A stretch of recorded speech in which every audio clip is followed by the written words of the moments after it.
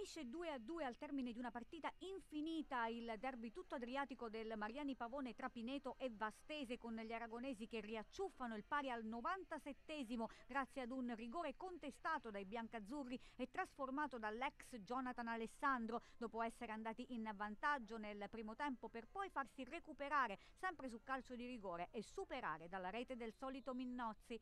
Dopo una lunga fase di studio con le due squadre contratte e poche occasioni, la gara si accende tra il ventisettesimo e la mezz'ora. Ad andare per primi in vantaggio sono gli ospiti che al ventisettesimo passano grazie al sinistro dal limite di Monza che di prima intenzione insacca all'incrocio per il momentaneo vantaggio aragonese. Un vantaggio che però dura appena due minuti perché al ventinovesimo il giovane Domizzi se ne va sulla destra, salta il diretto marcatore, entra in area e viene messo giù da De Angelis. Calcio di rigore per i biancazzurri sul dischetto Baccardella che spiazza di Rienzo e riporta il risultato in parità. La partita si accende e al 33esimo gli aragonesi vanno ad un passo dal gol del sorpasso con il destro di Scafetta che lambisce il palo della porta difesa da Mercorelli. Quindi la regola non scritta più famosa del calcio si concretizza al minuto 43 quando il Pineto ribalta il risultato. Pezzotti se ne va in velocità sulla sinistra e crossa in aria. La sfera ribattuta da Ceccacci arriva a Minnozzi che carica il sinistro di prima intenzione che si insacca alle spalle di Di Rienzo. Quinto gol nelle ultime tre partite per il bomber biancazzurro e risultato ribaltato per la formazione di casa. Ultima emozione del primo tempo al 45esimo con la conclusione di Alonzi che impegna Mercorelli, bravo a disinnescare. Si va così negli spogliatoi sul parziale di 2 a 1 in favore della formazione di casa.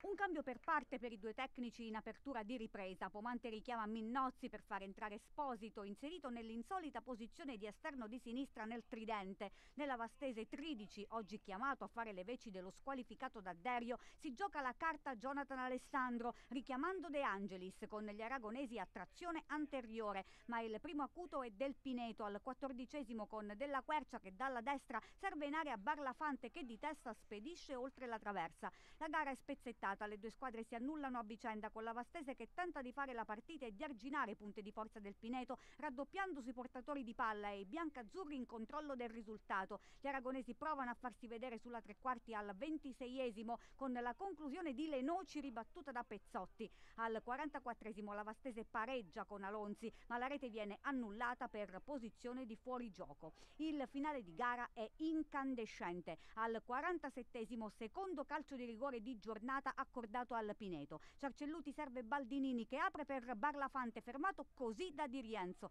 Il direttore di gara Grieco della sezione di Ascoli Piceno indica il dischetto ma Esposito dagli 11 metri si fa ipnotizzare da Di Rienzo fallendo l'occasione per chiudere la contesa. Il forcing vastese continua al 51esimo quando Romanucci in diagonale chiama al miracolo un super Mercorelli ma quando i biancazzurri pregustano il sapore della vittoria al 50 42esimo in pieno recupero il direttore di gara decreta il terzo penalty di giornata, ravvisando con la massima punizione un fallo di mani in area di Esposito. Dal dischetto l'ex Jonathan Alessandro non sbaglia e fa 2 a 2, dando il là ad una festa che è tutta biancorossa. L'intera panchina della Vastese entra in campo per un pareggio che vale oro e che oltre al punto manda alle stelle il morale dei biancorossi. Tanta amarezza in Casa Pineto per non aver chiuso prima la contesa e per una prestazione prestazione che non è piaciuta al tecnico Pomante, ora la vetta dista sette lunghezze.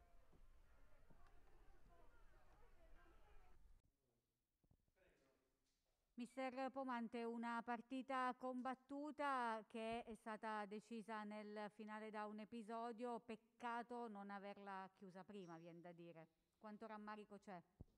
Il rammarico tanto, anche se oggi onestamente non abbiamo fatto una grossa partita, anzi eh, quest'anno penso sia stata la più brutta partita fatta, soprattutto a livello tecnico, dalla mia squadra. Anche se i miei ragazzi dal punto di vista dell'impegno, dalla, della cattiveria non gli posso rimproverare nulla perché pur soffrendo però hanno saputo soffrire, hanno saputo ribattere ogni colpo, ogni azione importante da parte della Vastese che oggi ha fatto un'ottima partita, anche se la Vastese secondo me è un'ottima squadra. Il normale il rammarico è quello, come hai detto tu, che c'è stata la possibilità di chiudere la partita e poi alla fine un episodio come il rigore loro ci ha punito, ci ha punito. Eh, dispiace, dispiace, anche come ho detto prima, sono consapevole che oggi non abbiamo fatto una, una buona partita. prima, fino, a, fino, a, fino a domenica scorsa eh, a livello di gioco la mia squadra ha sempre imposto il gioco. Oggi siamo riusciti poco a fare quello, è normale che il campo era pesante, non ci permetteva di, di giocare veloce la palla, e siamo stati poco lucici palla al piede, ci sta, ci sta, penso che siano incidenti di percorso. Il rammarico, il rammarico è quello perché alla fine la partita aveva avuto, aveva avuto la forza di ribaltare il risultato, che non c'era mai successo quest'anno. dispiace per i ragazzi perché i ragazzi lì dentro sono tristi qualcuno addirittura piange, dico la sincera verità, perché gli dispiace perché stavamo vincendo una partita sofferta, una partita fatta col cuore, eh, però alla fine, come hai detto tu, il rigore di Alessandro ci ha punito, però penso che il pareggio sia giusto. Diciamo che abbiamo incontrato un, una delle più forti squadre del campionato e complimenti all'allenatore perché è molto organizzata. Noi l'avevamo preparata molto bene appunto per questo motivo eh, loro erano forti in tutti i reparti, eh, abbiamo cercato di arginare le, le, le loro eh, punti di forza per poi colpirli dove noi potevamo. Eh, dopo c'è stato un rigore discutibile, il primo e anche il secondo, adesso io non, ero lontano quindi non potevo vedere, però la partita, la partita è stata combattuta eh, fino alla fine da parte nostra e da parte loro, quindi vuol dire che eh, ci tenevamo sia noi che loro a fare almeno un risultato.